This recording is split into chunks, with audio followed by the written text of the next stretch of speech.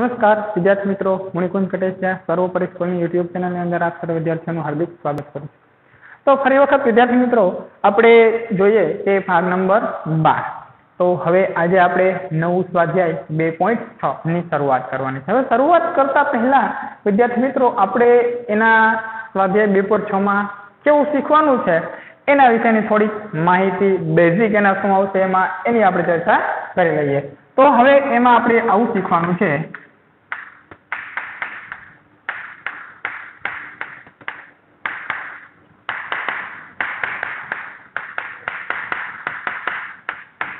કે દશાંશ સંખ્યાઓ છે, એનું આપણે શું કરવાનું છે?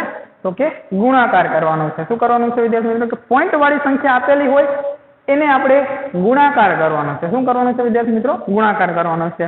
તો જોઈએ હવે આપણે એના ઉદાહરણ. તો પોઈન્ટ વાળી સંખ્યા આપેલી હોય, અને એનો ગુણાકાર કરવાનો હોય. તો શું કરવાનું વિદ્યાર્થી મિત્રો? માની લ્યો કે આપણને એમ આપ્યું હોય કે શૂન્ય પોઈન્ટ પચીસ ગુણ્યા ત્રણ. એટલે કે ઝીરો પોઈન્ટ પચીસ ગુણ્યા ત્રણ. આવું આપેલું હોય. તો શું કરશો વિદ્યાર્થી મિત્રો? એકદમ સાદું અને સરળ. સાદી અને સરળ રીત કહું. તો પેલા, તો જે તમને પોઈન્ટ વાળા ગુણાકાર આવડતા નથી, એટલે તમે થોડાક મૂંઝાવ બરોબર છે? હવે મૂંઝાવાની જરૂર નથી. આપેલી જે સંખ્યા છે એમાં તમે પોઈન્ટને થોડીવાર માટે શું કરશો? તો કે ભૂલી જવાના. શું કરવાનું? પોઈન્ટ જે છે, એ આપણે ભૂલી જવાના છે. માની લો કે અહીંયા કણે તમને ઝીરો પોઈન્ટ પચીસ આપેલા છે. કેટલા આપેલા છે? ઝીરો પોઈન્ટ પચીસ આપેલા છે. તો આપણે પોઈન્ટ ભૂલી જઈએ કે ઝીરો પોઈન્ટ પચીસ છે, એટલે આ પોઈન્ટ ભૂલી જાવ એટલે ઝીરો પચીસ થઈ જાય. એટલે માત્ર પચીસ વધે. કેટલા વધે? માત્ર પચીસ વધે. હવે પચીસ નો ગુણાકાર ત્રણ સાથે કરતા આવડે છે આપણને. બરોબર છે? એટલે કે પચીસનો ગુણાકાર ત્રણ સાથે તમને કરતા આવડે. પચીસનો ગુણાકાર ત્રણ સાથે તમને કરતા આવડે. એટલે કે પચીસ તરી તો કે સર પંચોતેર થાય. તો આ ગુણાકાર તમને આવડે. હવે હું પોઈન્ટ હતો એ મેં અહીંયા કાઢી નાખેલો હતો. હવે મારે પોઈન્ટ કેવી રીતના લાવવો? તો અહીંયા તમને ખબર જ છે કે કેટલા આંકડા પછી પોઈન્ટ છે? બે અંક પછી પોઈન્ટ આપેલો છે. ડાબી બાજુથી, જમણી બાજુથી જ્યારે તમે ગણતરી કરો છો, તો આ જમણી બાજુથી તમને એક અને બે અંક પછી પોઈન્ટ આપેલો છે. તો બે અંક પછી પોઈન્ટ આપેલો છે પોઈન્ટ છે એને દૂર કરો તમે. તો છેદમાં તમારે કેટલા મૂકવા પડે? સો. જેટલા આંકડા પછી પોઈન્ટ હોય, એટલા છેદમાં મીંડા તમારે મૂકવા પડે. એટલે છેદમાં મીંડા મૂક્યા બે. હવે એનો જવાબ આવ્યો પંચોતેર. હવે પંચોતેર જવાબ આવ્યો ઉપર ગુણ્યા. તો અહીંયા છેદમાં સો તો હતા જ હવે વળી પાછું આ પોઈન્ટ એપ્લાય કરવો હોય, તો પછી શું કરો છો? તો કે વળી પાછું જેમ આમાં હતું એવી જ રીતના થઈ જાય કે બે અંક પછી, જમણી બાજુથી બે અંક પછી પોઈન્ટ મૂકી દેવાના. જેટલા મીંડા હોય એટલા અંક પછી પોઈન્ટ મૂકવાના. બે મીંડા છે, તો જમણી બાજુથી બે અંક પછી પોઈન્ટ મૂકો, તો આ એક સાતડો, પાંચડો અને બીજો સાતડો. હવે પોઈન્ટ મૂકી દો. પોઈન્ટ પછી એ કંઈ ન હોય એટલે ચિહ્ન લખી નાખો એટલે ઝીરો પોઈન્ટ પંચોતેર. હવે આ તો થઈ વિદ્યાર્થી મિત્રો થોડીક લાંબી રીત. હવે આનાથી એક નાનામાં નાની અને ટૂંકામાં ટૂંકી રીત કહું, તો આપેલી સંખ્યામાં તમને એક જ જગ્યાએ પોઈન્ટ આપેલો છે. તો પોઈન્ટને થોડી વાર માટે ભૂલી જાવ પેલા ખાલી આંકડાઓને યાદ કરો, તો પચીસ અને ત્રણ છે, શૂન્યની જરૂર છે નહીં. બરોબર છે? શૂન્યની જરૂર છે નહીં. શું કરીશું? તો કે પચીસ અને ત્રણ, તો સીધો ગુણાકાર કરો. પચીસ તરી પંચોતેર. પચીસ તારીખ પંચોતેર. હવે વિદ્યાર્થી મિત્રો, આમાં તમે જો આ એક જ જગ્યાએ પોઈન્ટ છે. ક્યાં? તો કાંઈ ઝીરો પોઈન્ટ પચીસ. હવે એ પોઈન્ટ કેટલામાં સ્થળે છે? તો કે આમ તરફથી ગણતરી કરો તો એકમ, એક, બે અને ત્રણ. ત્રીજા અંકે પોઈન્ટ છે. એક, બે અને ત્રીજા અંકે પોઈન્ટ એટલે કે બે આંકડા પછી પોઈન્ટ આવે છે એવું કહી શકાય. તો આપણે આ બે અંક પછી પોઈન્ટ મૂકી દો એટલે આપણો સીધો જવાબ આવી જાય. જુઓ. આ જવાબ. જવાબ. છે સીધો? કોઈ પણ દાખલાઓની અંદર તમે આવું કરી શકો છો. હજી બીજું ઉદાહરણ આપું.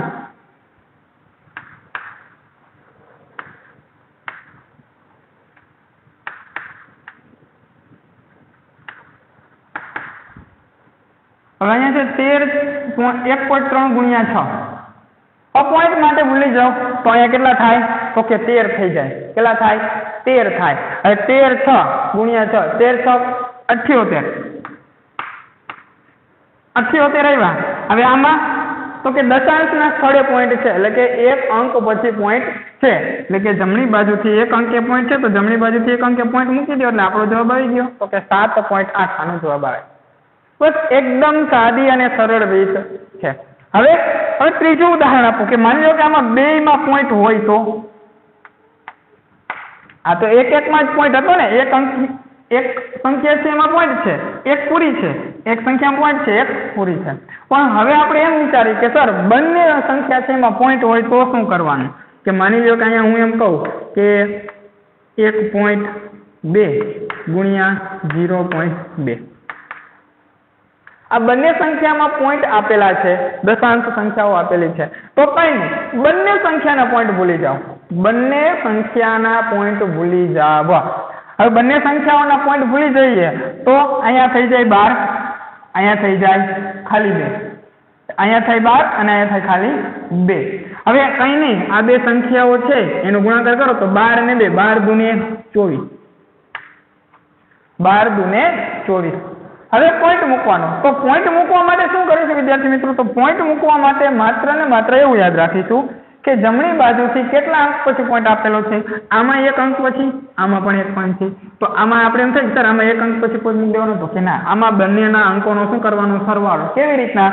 તો કે આમાં કેટલા અંક પછી પોઈન્ટ છે? એક. આમાં એક. તો એક ને એક કેટલા થાય? તો કે બે. એટલે મતલબ કે આપણે ટોટલ ગુણાકારનો જે જવાબ આવે, એમાં બે અંક પછી પોઈન્ટ મૂકવાનો. તો એક અને બે. બે અંક પછી પોઈન્ટ મૂકી દીધો. હવે એક અંક નથી. તો શૂન્ય મૂકો અહીંયા કણે. એટલે આનો જવાબ આવે ઝીરો પોઈન્ટ ચોવીસ. આનો જવાબ આવે ઝીરો પોઈન્ટ ચોવીસ. એકદમ સાદી અને સીધી સરળ રીત છે. જોયું? હવે એથી હજી બીજું ઉદાહરણ આપું. માની લો કે કોઈમાં આવું હોય.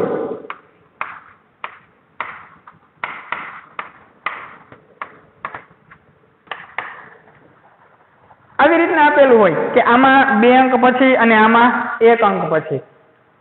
હવે જો આમાં આપણે સરવાળો કર્યો તો, આમાં એક અંક અને આમાં એક અંક પછી એટલે ટોટલ બે અંક પછી મૂક્યું હતું. હવે આમાં જોઈએ આમાં સરવાળો થશે. પણ કેવી રીતના? હવે આમાં એવી જ રીતના. પેલા તો કે પોઈન્ટ ભૂલી જાઉં, તો આમાં હું પોઈન્ટ ભૂલી જાઉં એટલે આ પચીસ થઈ જાય અને આમાં હું પોઈન્ટ કાઢી નાખું તો આ ચાર થઈ જાય. એટલે પચીસ અને ચાર, પચીસ ચોકું તો કે સો થાય. પચીસ ચોકું તો કે સો થાય. હવે આના જવાબમાં શું આવશે? હવે પોઈન્ટ મૂકવાનો છે. તો પોઈન્ટમાં વિદ્યાર્થી મિત્રો તમને ખબર જ છે કે આમાં એક અંક પછી પોઈન્ટ અને આમાં બે. તો બે ને એક ત્રણ. કેટલા થયા? ત્રણ અંક. એટલે મતલબ કે ત્રણ અંક પછી પોઈન્ટ મૂકવાનો થાય. તો આમાં ગણતરી કરો. એક, બે અને આ ત્રણ. ત્રણ અંક પછી પોઈન્ટ મૂકી દો તો આ આપણો જવાબ ઝીરો પોઈન્ટ સો. ઝીરો પોઈન્ટ સો. આ આપણો જવાબ. તો એકદમ સાદી અને સરળ રીતે તમે વિદ્યાર્થી મિત્રો અહીંયા કણે શીખ્યા છો. કેવી એકદમ સાદી અને સરળ રીત. કંઈ નહીં, આપેલી સંખ્યાઓ જે છે, એનો ગુણાકાર કરો અને જેટલા અંક પછી પોઈન્ટ આપેલા છે, એ તમે સીધા મૂકી દો એટલે તમારા જવાબ આવે. હવે તમને હજુ ઉદાહરણ બંનેના એક એક આપું છું. એક એક સંખ્યામાં અને બબે સંખ્યામાં પોઈન્ટ હોય એવા.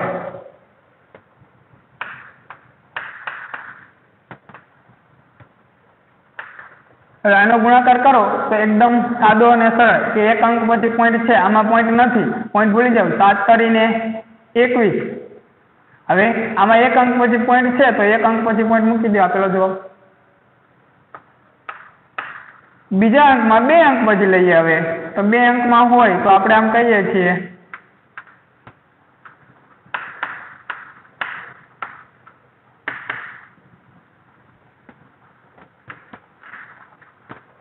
હવે આપેલી સંખ્યાઓ છે, બંનેનો ગુણાકાર કરો. એકસો નેવ્યાસી અને બે. તો ગુણાકાર કરો. તો નવ દુ અઢાર નો અઠાર વધી પડી. આઠ દુ સોળ અને એક સત્તર. વધી પડી એક, બે ને એક ત્રણ. ત્રણસો ને અઠ્યોતેર. હવે ટોટલ પોઈન્ટની ગણતરી કરો. એક, બે અને આ ત્રણ. એટલે જમણી બાજુથી પોઈન્ટની ગણતરી કરી, તો આમાં બે અંક પછી પોઈન્ટ આપેલો છે. આમાં એક અંક. તો બે ને એક ત્રણ. અંક તો ત્રણ અંક પછી પોઈન્ટ મૂકો. આ આપણો જવાબ. ઝીરો પોઈન્ટ ત્રણસો ને અઠ્યોતેર. બરોબર છે? એકદમ સાદી અને સરળ રીત છે જે તમને હવે આવડી જ ગઈ હોય કે દશાંશ સંખ્યાઓનો ગુણાકાર છે એ કેવી રીતના કરવો? આ રીતના પણ તમે કરી શકો છો કે પોઈન્ટ છે એ કેવી રીતના દૂર કરવાનો હોય. હવે વિદ્યાર્થી મિત્રો, આગળ જોઈએ તો આગળ આપણને બે રીત આપેલી છે. એમાંનું એક એવું આપેલું છે કે દશાંશ સંખ્યાના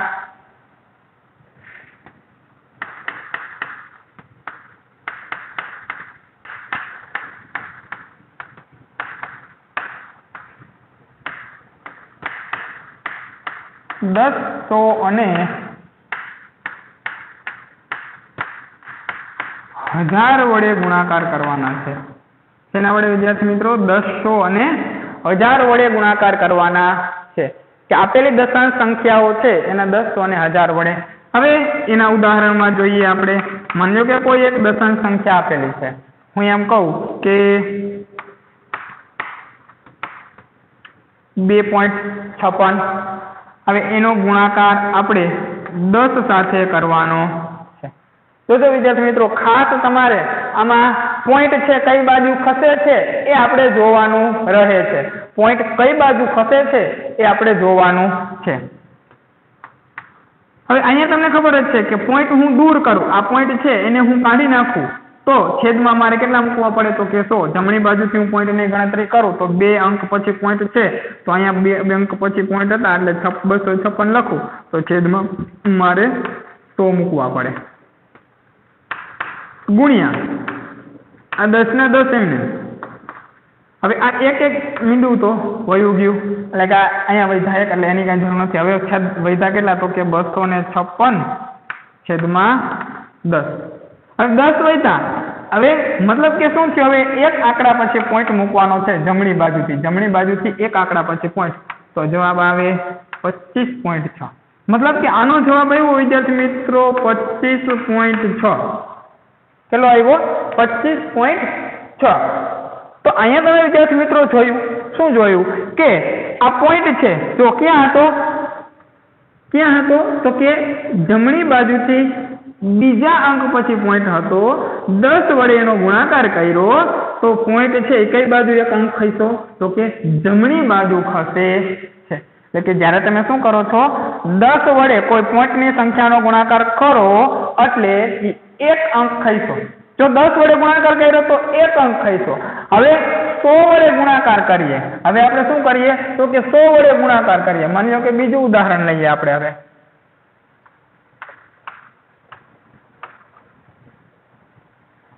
એને આપણે સો વડે ગુણીએ. તો આપણે જોઈએ હવે શું થાય છે? કે અહીંયા કણે હું પોઈન્ટ દૂર કરું. તો એક, બે ને ત્રણ અંક છે. કેટલા છે? એક, બે ને ત્રણ અંક છે. તો ત્રણ અંક છે, વિદ્યાર્થી મિત્રો. મતલબ કે મારે પોઈન્ટ અહીંયાથી આ દૂર કરવો હોય, તો છેદમાં મારે કેટલા મૂકવા પડે? તો કે ત્રણ મીંડા મૂકવા પડે. એટલે કે એક હજાર થાય અહીંયા છેદમાં મારે. હવે છેદમાં હજાર ગુણ્યા તો આ બે મીંડા તો આની સાથે ગયા. હવે વૈધા કેટલા? તો કે ત્રણ હજાર ચારસો ને ત્રેવીસ છેદમાં દસ. એટલે કે એક અંક પછી મારે પોઈન્ટ મૂકવાનો થાય. ત્રણ હજાર ચારસો ત્રણસો બેતાલીસ પોઈન્ટ ત્રણ. એટલે કે એક અંક જમણી બાજુથી એક અંક પછી પોઈન્ટ મૂક્યો. હવે હવે જો વિદ્યાર્થી મિત્રો, અહીંયા આપણે જવાબ લખો સરખાવી શકાય આપણે. કે તમે અહીંયા નોંધ કરી કે શું કર્યું? તો કે આમાં, તો કે એક, બે ને ત્રણ અંક પછી પોઈન્ટ હતો. ત્યારે આમાં તો કે એક અંક પછી પોઈન્ટ છે. તો વિદ્યાર્થી મિત્રો, આપણે જોઈએ કેટલા અંક ખસ્યો? તો કે એક અને બે. અહીંયા જોયું, પેલા અહીંયા હતો પોઈન્ટ એની બદલે એક અને બે અંક પછી પોઈન્ટ આવ્યો. એટલે મતલબ કે પોઈન્ટ છે એ જમણી બાજુ બે અંક ખસ્યો. કેટલા? જમણી બાજુ બે અંક પોઈન્ટ ખસે છે અહીંયા કણે. તો અહીંયા કણે વિદ્યાર્થી મિત્રો, આપણે આ સો વડે ગુણાકાર કર્યો ત્યારે. અહીંયા દસ વડે ગુણાકાર કર્યો. ત્યારે એક પોઈન્ટ ખસ્યો. તો કઈ બાજુ? જમણી બાજુ. અને સોળે ગુણાકાર કર્યો તો બે અંક ખસ્યો જમણી તરફ. હવે હજાર વડે ગુણાકાર કરી જોઈએ. હવે હજાર વડે ગુણાકાર કરીએ. તો શું થાય છે? તો આપણને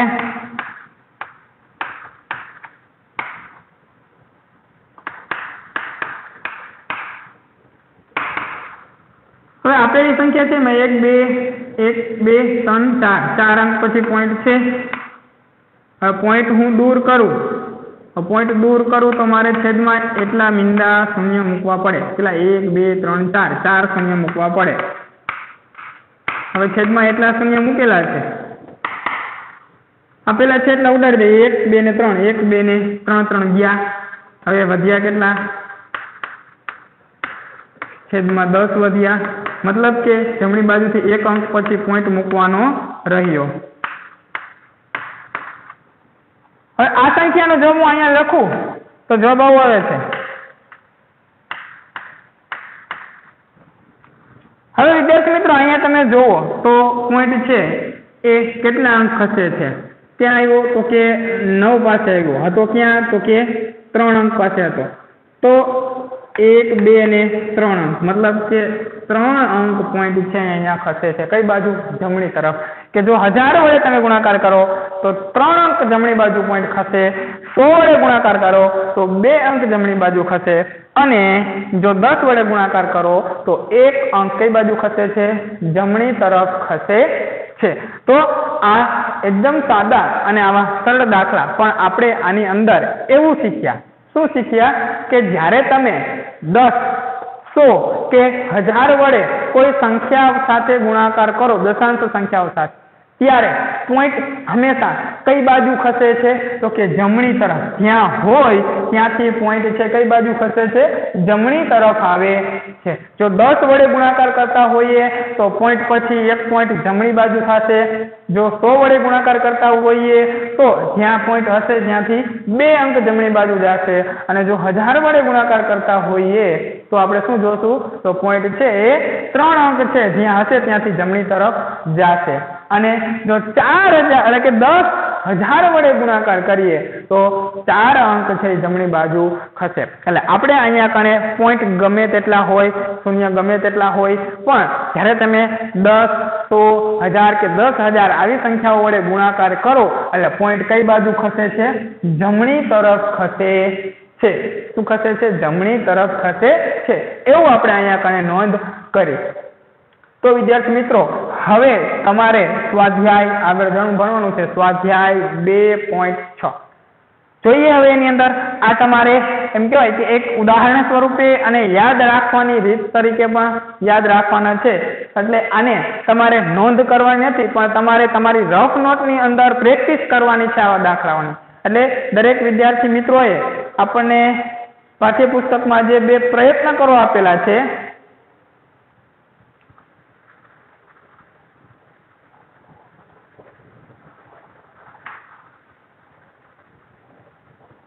પેજ નંબર પચાસ. હોમવર્કની અંદર કહું.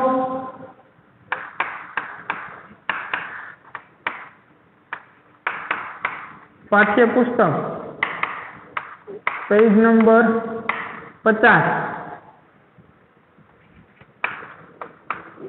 પ્રયત્ન કરો. અને પેજ નંબર એકાવન. નો. એકાવનની અંદર બે પ્રયત્ન કરવા આપેલા છે. એમાં આપણે પહેલો પ્રયત્ન કરો અને બીજો.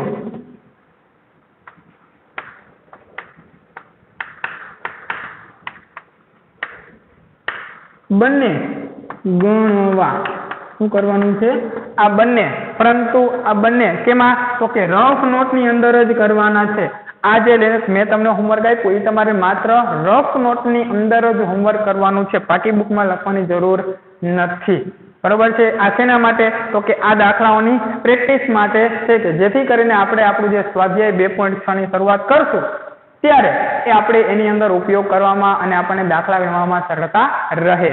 જો તમે આ દાખલાઓની પ્રયત્ન કરેલો હશે, તો તમને સ્વાધ્યાય બે પોઈન્ટ છ છે, એ એકદમ સાદું અને સરળ જ સ્વાધ્યાય લાગશે. બરોબર છે વિદ્યાર્થી મિત્રો, તો ખાસ તમારે આ દાખલાઓ છે, એને ફરી વખત કહું છું, એનો પ્રયત્ન કરવો, એના જેવા બીજા દાખલાઓ પણ ગણવાનો પ્રયત્ન કરવાનો દે છે. તો તમને દાખલાઓ ગણવામાં ખૂબ જ સરળતા રહેવાની છે. તો વિદ્યાર્થી મિત્રો, આ દાખલાઓ જે એકદમ સાદા અને સરળ હતા આજે અહીંયા સુધી રાખીએ. બીજું જોશું આપણે નેક્સ્ટ લેક્ચરમાં અસ્તુ